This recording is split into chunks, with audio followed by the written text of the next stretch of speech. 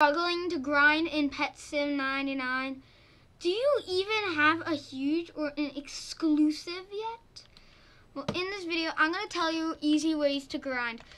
Maybe you're in Tech World, maybe you're not in Tech World. Maybe you just want to know some grinding tips for when the update comes out on Saturday that I might miss.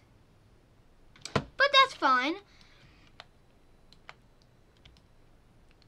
So yeah, so so say you're you're not in uh, what do you call it? Tech world yet. And you're still grinding your life away to get here. That could be you. It could not be you. You could be in Tech World, but you just haven't made it to, uh, what do you call it? To the final area, and you want to make it to the final area so you can have a chance to even be hatching a ra to get your first rainbow huge. Because look at this. And then you can go back here, turn on your auto hatch, have your best luck potions on, go up here and start hatching. As simple as that.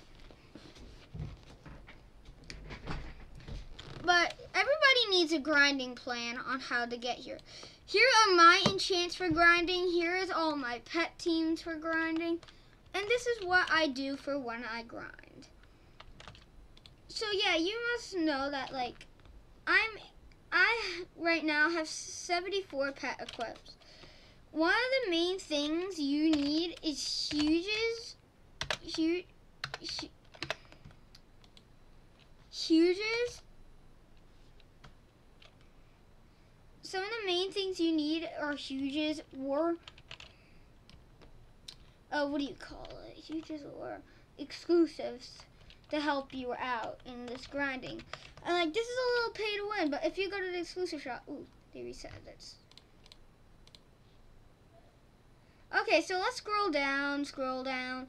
Let's go here. This is where you could buy stuff. If you buy this for 400 Robux, you can't get a huge. But if you buy the the enchantment that goes for 112,000 Robux,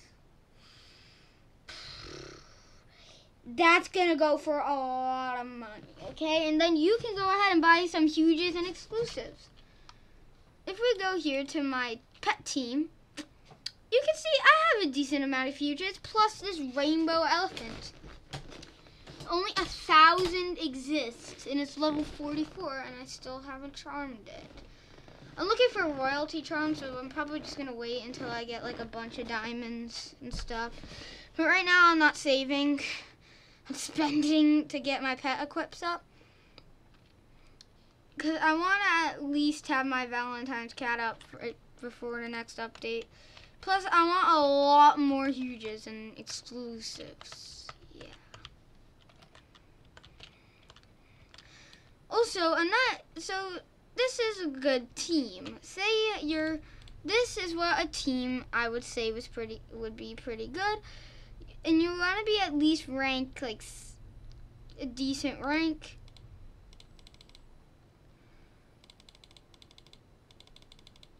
Like this could be a decent team for grinding, okay?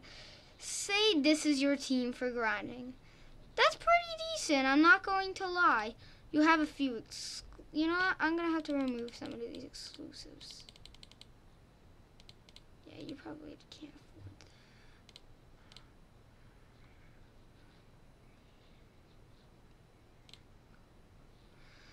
So say this is your team, and it's a pretty small team, but it works.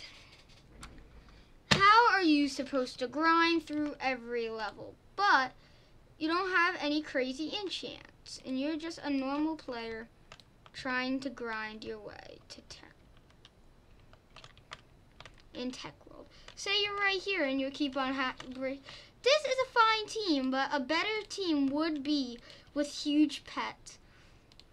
But say also you hatched a huge, you have a huge happy computer. Good for you. I actually only have one